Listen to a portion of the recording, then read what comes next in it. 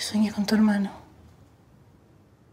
It's a film about reconstruction of a family and how much people need to escape forward from painful memories in order to keep uh, living. And I think it's a film about the anxiety, ansiedad, of not being able to stay and do the process that things requires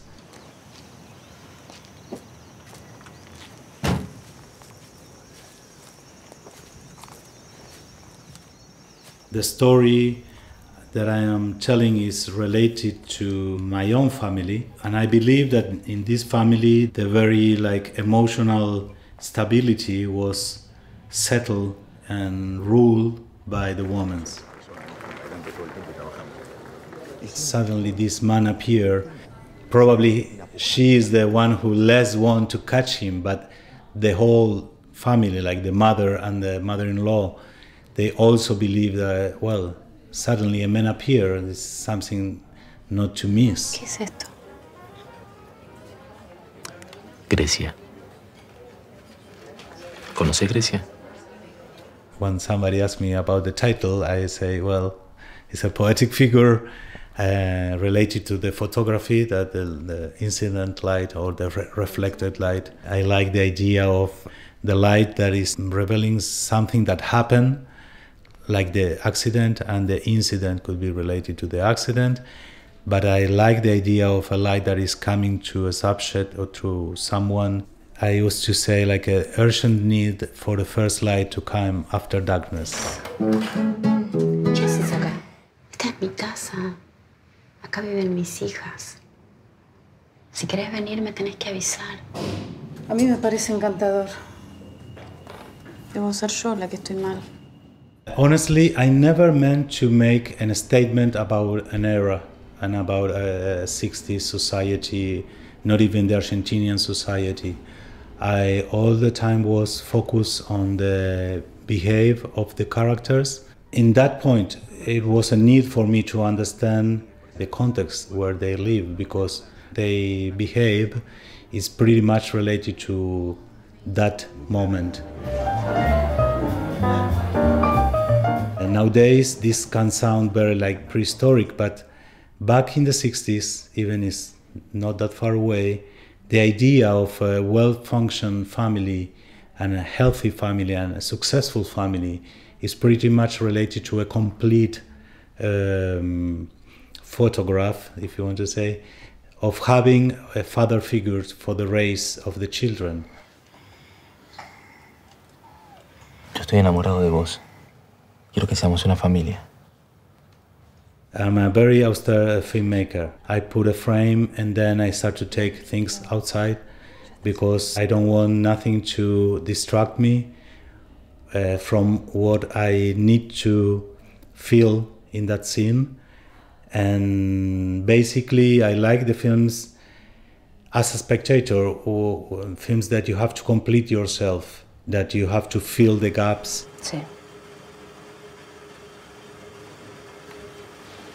when I finally meet the main location of the film, which is an apartment, I start to make this 133 within the frame of the 185, like having her like uh, frame it by the walls or by the doors, and I start to feel that this give to the image some pressure because the space was reduced by the doors or by the door frames and I start to find that this really make a, a good mariage with the story. Eli.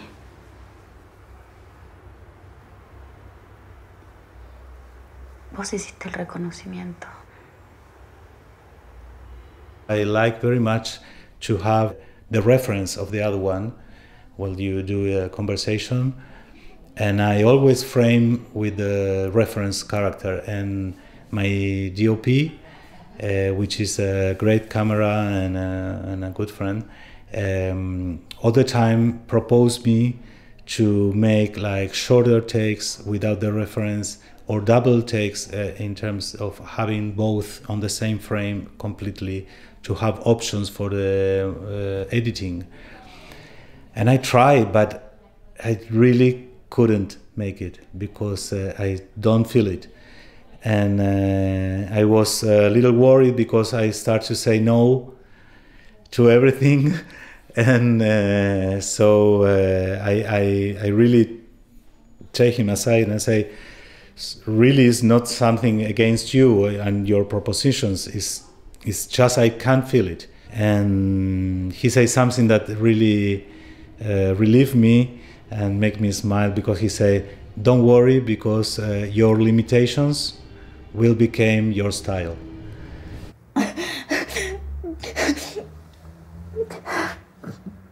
all the scenes in the script were heading like uh, 3 p.m. in the afternoon, 3 a.m. in the night, because I felt that the, in these calm moments when the kids are sleeping, she found herself again alone and again caught by her loss and her pain.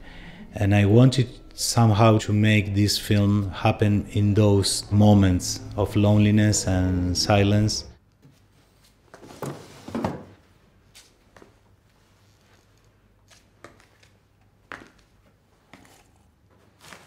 We are living in times of 5.1 uh, surround systems and, and everything. And I really don't feel that this film uh, should have it. This film should sound uh, like mono and the whole sound coming from the screen like in centered.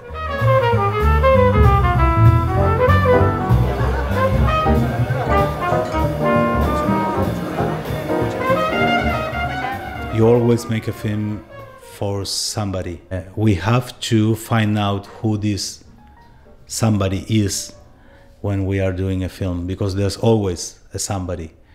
Uh, could be a girlfriend from your childhood, could be your brother, could, could be a, a friend or someone who is already dead. Doesn't matter. There's an existence that it makes this feedback communication even is there or not.